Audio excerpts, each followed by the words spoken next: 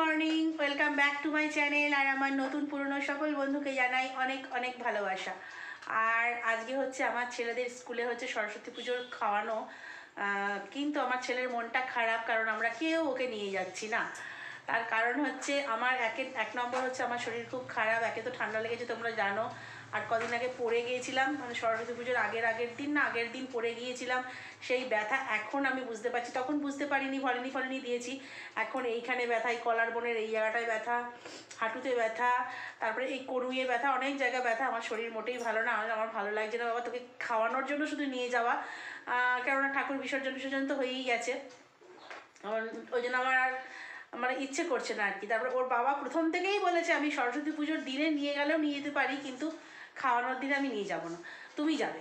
সব মায়েরা যায়, সব আমি শুধু বাবা একা একা যাই। তো না, মিথ্যে কথা বলুন অনেক বাবারা যায়, আমি দেখেছি। মিটিং ফিটিংয়ে যখন আমি যাই, দেখি বাবারাও যায় মায়েরাও যায়। তো যাই হোক, ও নিয়ে যাবে না, ওর এমনি কাজও করে গেছে সকাল সকাল।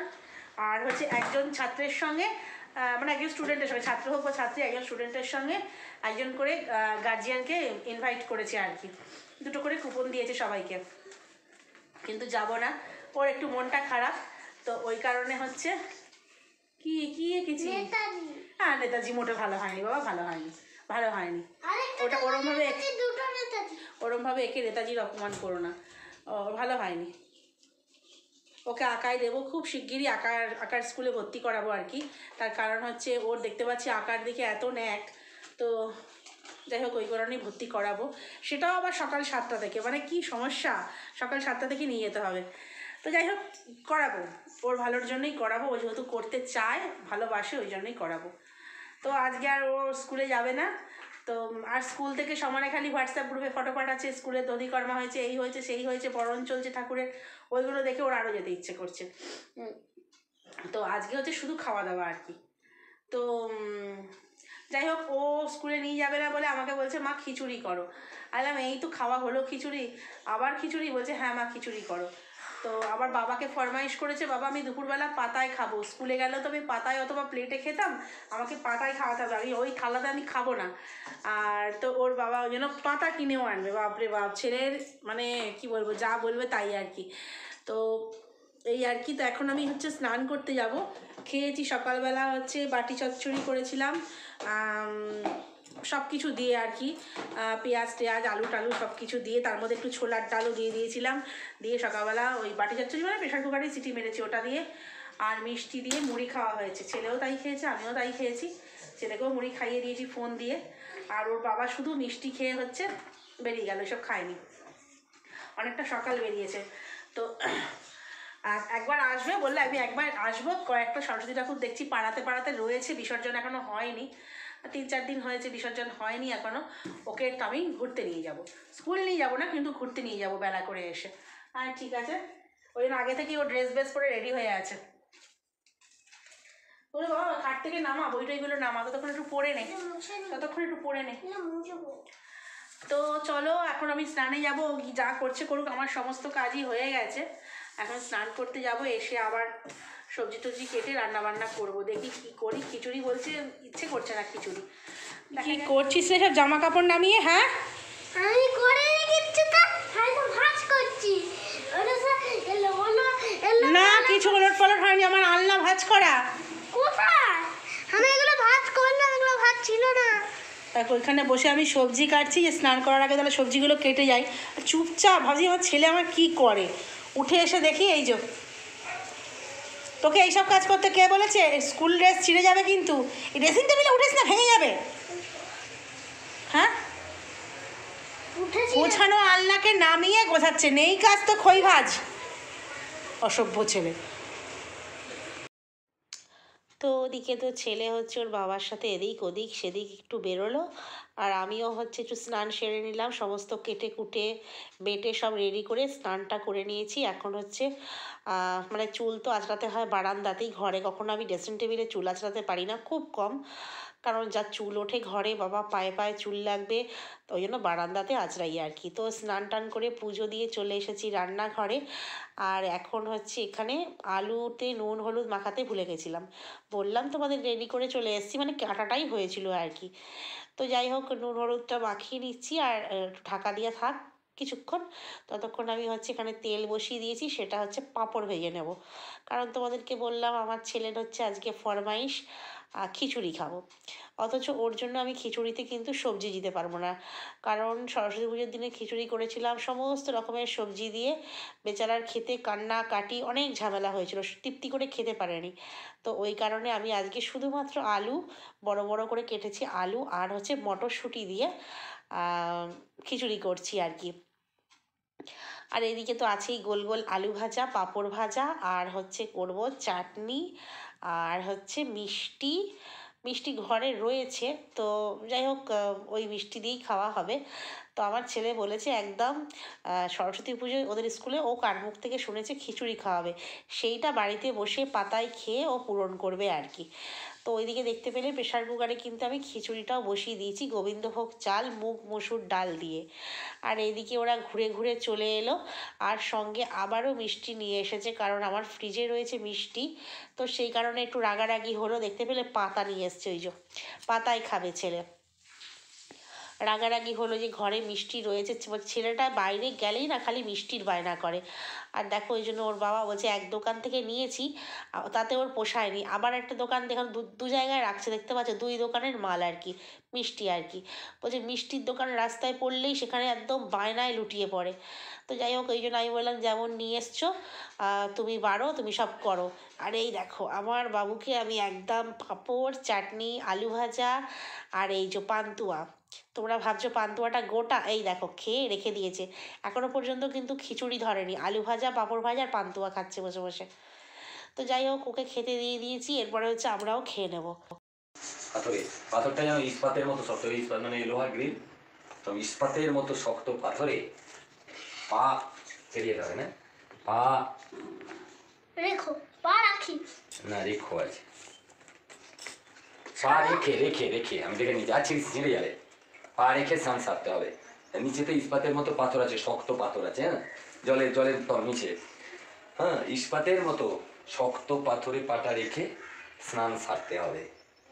হ্যাঁ? চলো স্পর্শ করি ঠান্ডা নির্মল জল?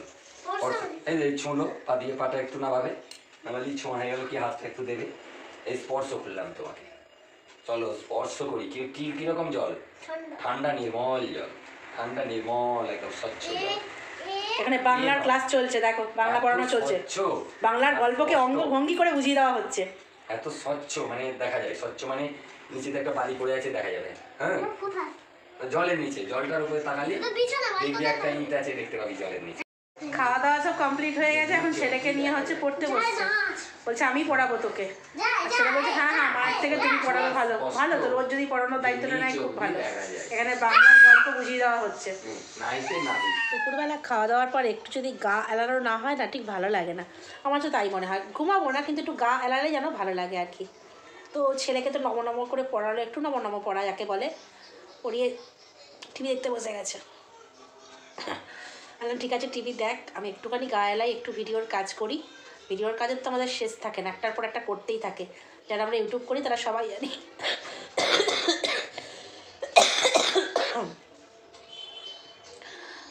শরীর ভালো থাক আর মন্দ থাক, আমাদের এই কাজ করে যেতেই হবে। তো যাই হোক, এক এক করে সব পুজো, অনুষ্ঠান সব শেষ হয়ে গেল, বলো? কারণ আমাদের শুরু হয় সেই পয়লা বৈশাখের অনুষ্ঠান দিয়ে, আর এই সরস্বতী পুজো দিয়ে শেষ হয়, তাই না? সব এক এক করে শেষ হয়ে গেল। আবার এক বছরের অপেক্ষা। আবার নতুন করে অপেক্ষা শুরু হবে। কি না, আবার নতুন করে কোন পুজো কী বারে আসছে, কথা বলতে কষ্ট হচ্ছে বটে। মানে কথা বললেই যত কাশির উদ্বেগ হয়। এমনি নর্মালে কাশছিলাম না। যেই ক্যামেরাটা অন করলাম কথা বলব বলে তখনই কাশি শুরু হয়ে যায়। যেটা বলছিলাম আর কি যে নতুন করে আবার হচ্ছে শুরু।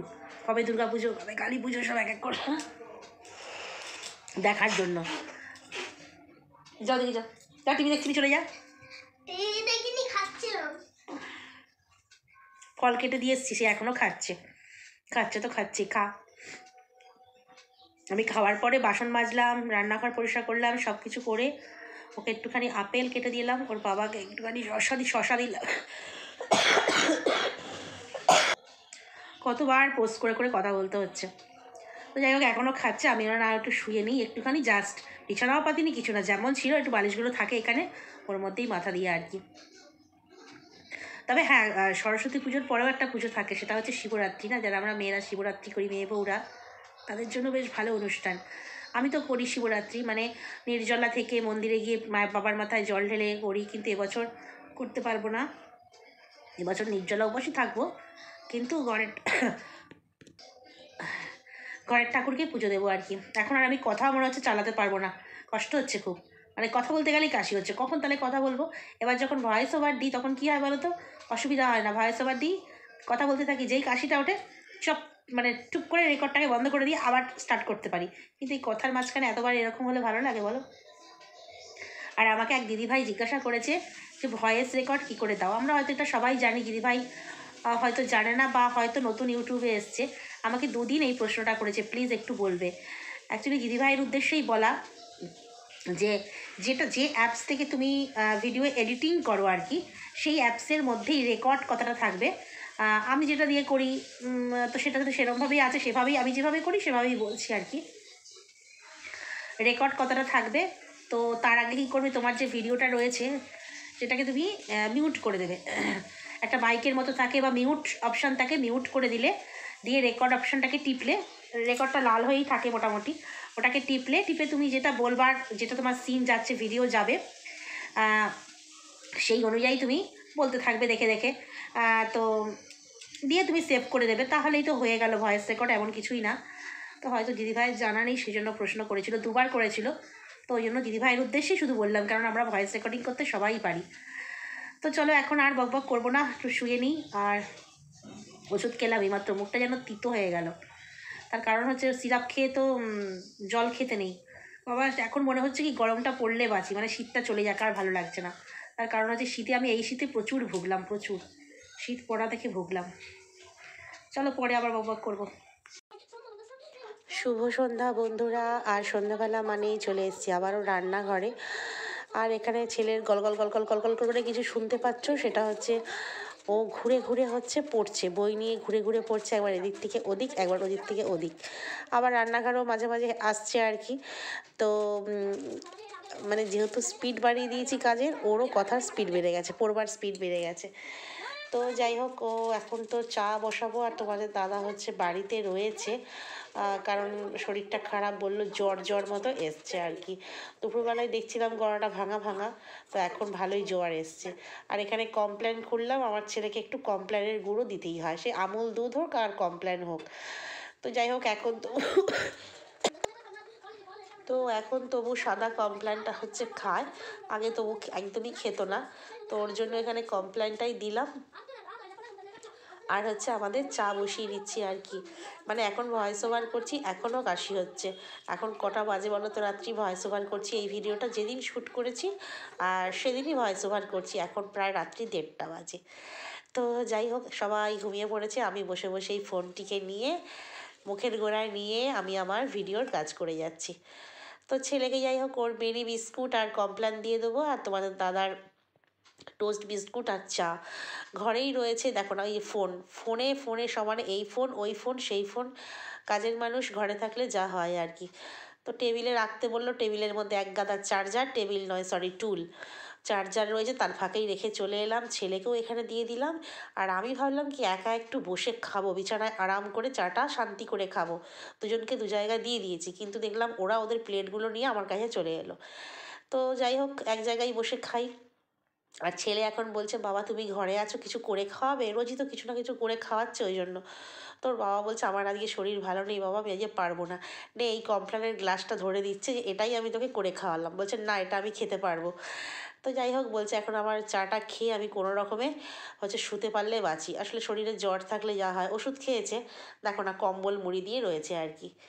তো তারপরে চাটা খাওয়ার পরে তো আমি ছেলেকে নিয়ে হচ্ছে পড়তে বসালাম, ওর বাবা ওই ঘরে শুয়ে রইল। আজকে আর কোনো রান্না বান্না করবার ওর ক্ষমতা নেই, করে খাওয়াবারও ক্ষমতা নেই নাহলে ভালো থাকলেই কিছু না কিছু করে আর কি। রাত দশটা, সাড়ে দশটাতে বাড়িতে এসেও কিছু না কিছুতে হাত লাগায়। ভালোবাসে যেহেতু করতে। তো আমি আজকে রাত্রে বলছে, ভাত খাব না। তো ভাত করলাম না। ও বেলা তো দেখেছ, খিচুড়ি করেছি ওই বেলাতে। তো ওই জন্য কি করলাম, ভাবলাম যখন জ্বর টর এসছে হালকা সর্দি কাশিও আছে, আমারও তো আছেই, তাহলে ভাত খাব না। তো রুটি করো বলল, আর আমারও না এখন রুটি করতে ইচ্ছে করছে না। মাখা আর বেলার ঝামেলা ছাড়াই রুটি বানিয়ে নিলাম, দেখতেই পেলে। আটা নিলাম, শুধু আটা, তার সঙ্গে নুন নিয়ে প্লেন জল দিয়ে গুঁড়ে দশ মিনিট রেখে দিলাম। আর এটা এখানে হচ্ছে আলু, পেঁয়াজ, পাঁচফোড়ন, শুকনো লঙ্কা ফোড়ন দিয়ে আলু, পেঁয়াজ, টমেটো আর হচ্ছে ধনে পাতা দিয়ে জাস্ট আলুর তরকারি বলতে পারো প্লেন আলুর তরকারি। কিচ্ছু দিইনি। কটা মটরশুঁটি ছাড়িয়ে দিলে হতো ওর আর ইচ্ছেও করল না। ছাড়ানো নেই মটরশুঁটি, অন্য সময় না, আমি ছাড়িয়ে টিফিন বক্সে করে রেখে দিই। কিন্তু ছাড়ানো নেই। থাক, এই টমেটো, ধনে পাতা, পেঁয়াজ, কাঁচা লঙ্কা, এই দিয়ে জাস্ট প্রেশারে দুটো কি তিনটে সিটি মারবো, একটু গলা গলা টাইপের তরকারি হবে আর কি। আর সঙ্গে এই যে আটা নুন দিয়ে গুলে রাখলাম, সেটা দিয়ে এই যে গোলা রুটির মতো বলতে পারো, কিন্তু একটু বেশ সময় নিয়ে করলে না পুরো রুটির মতোই না ফুলে যাচ্ছে, পুরো রুটিই বলতে পারো হয়ে যাচ্ছে। মাখা বেলার ঝামেলা ছাড়া রুটি বানালাম। তো সবাই কিন্তু ভালো খেয়েছি মানে ছেলেও খেয়েছে, ছেলের বাবাও, আমিও সবাই ভালো খেয়েছি। রাত্রে খুব একটা আমরা গোলা রুটি বা এই ধরনের রুটি খাই না, সকালের দিকে করি, কিন্তু ভালোই লাগল। আসলে আটা মেখে বেলে করা বড় ঝামেলা। ওই জন্য এইভাবে করে নিলাম। আর সঙ্গে তো দেখতেই পেলে কুকারের মধ্যে আলুর তরকারিটা বসালাম। সেটাও দেখো রেডি হয়ে গেছে পুরো। আর রয়েছে মিষ্টি। ও বেলা তো আনা হয়েছে। ছেলেকে তো রাগারাগি করে তখন কিছু দিইনি মিষ্টি। এখন হচ্ছে এই যে ওকে খেতে দিচ্ছি। তোমাদের দাদাকেও দিয়ে দেবো, নিজেও খেয়ে নেব। সেই দেখো পাতা। দুবেলাতেই পাতাতে খাওয়া হলো আমাদের। বাসন তো অন্য মাজতেই হলো। কিন্তু সেই পাতা তো শুধু একটা করে তিনজনের তিনটে থালা বাকি মানে মাজতে হবে না আর কি। তো যাই হোক, একদিন পুরোটা পাতাতেই খেলো। আর এখানে ছেলেকে দিয়ে দিলাম খেতে, তোমাদের দাদাকেও এবার দিয়ে দেবো, আমিও বসে পড়ব, আর ভিডিওটাও এইখানে শেষ করব।